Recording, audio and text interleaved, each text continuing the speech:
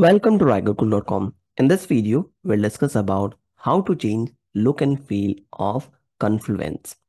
Whenever we are using Atlassian Confluence products, normally this look and feel looks like a sky blue color. If you want to change or make it according to your color codes or according to your like, you can create it or change it without any challenges. So I will explain you how we can do that. To start with this, normally we need the administrator permissions. If you have the superior permissions to modify your complete Confluence site, you can do it very quickly. Now, to start with this, navigate it to the settings tab and from here, you will find it out all settings available for your Confluence. Here you can see look and feel options are listed. First, let me start with themes. To change the Confluence theme, you can easily do it. So choose new themes if you want. This is the default theme, but if you want, you can select the new theme as well. Once you have selected new theme, this will be updated successfully.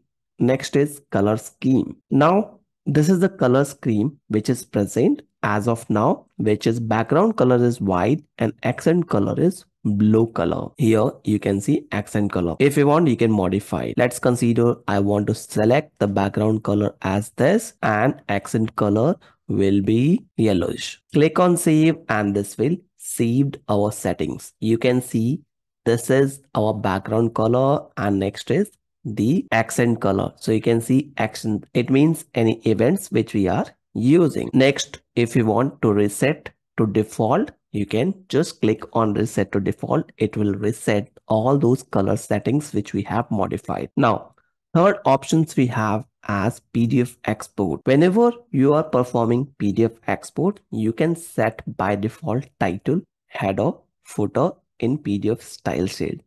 I've already covered this video in detail. I will include the URL in description tab so that it will be easier for you to refer. I'm not going to touch this one. I'm just giving you an idea about it, how I covered it in my previous video. So feel free to refer video link in description. Now site logo and favicon. This is our favicon which is listed here. Logo is by default logo which you can see it on page itself.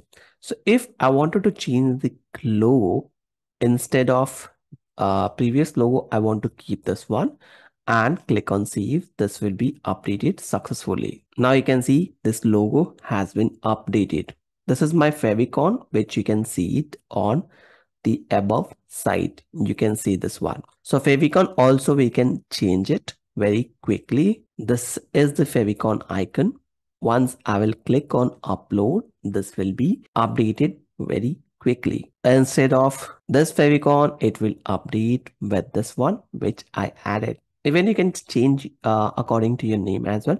So depending on your requirement, you can do it very quickly. And while doing this, some of the companies are keeping their own logo for internal branding. So that's the purpose I am explaining here. Totally depending on your needs, you can change it quickly. Now, if, if you want to revert it back, you can just reset to default logo and this will be updated successfully. This also, you can reset it to the default favicon. This will get changed very quickly. Header and footer sections, if you want to add any header or footer, you can create it. So customizing look or space header and footers if you want we can add it so whichever data you want to add it here simply add the name of header add the name of footer and this will be get updated. So header will be showing here and footer will be listed in this the bottom sections. Now default space logo. So this is giving us configuring logo here for best result. Use an image that has the same width and height. Whenever you want uh, or browsing the options, it will be listed on the main page itself. So this is how we can modify, upload the logos or modify the changes.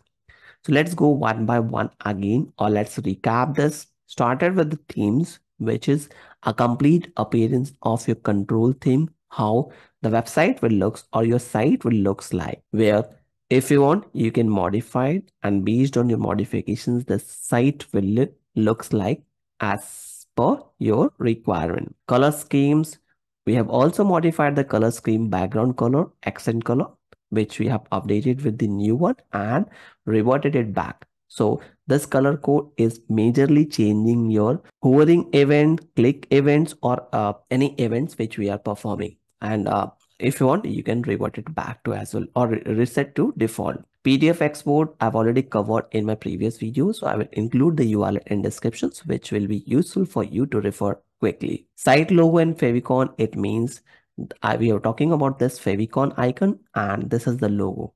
So whichever logo you'll prefer, you can use it. Majorly companies are using for internal branding. So normally rather than using that or this logo, they are modifying it to their company logo itself. Header and footer sections is showing any informations or sometimes uh, companies are keeping their announcement banner. So this banner or this header sections is giving again internal branding if they want to populate any messages or instant messages that can also be incorporated here. And finally, the default space logo, it means this logo will be applicable at the main page. So that's all from this video. Hope you enjoyed the content. If you think so this will be useful, don't forget to share within your circle. Thank you for watching.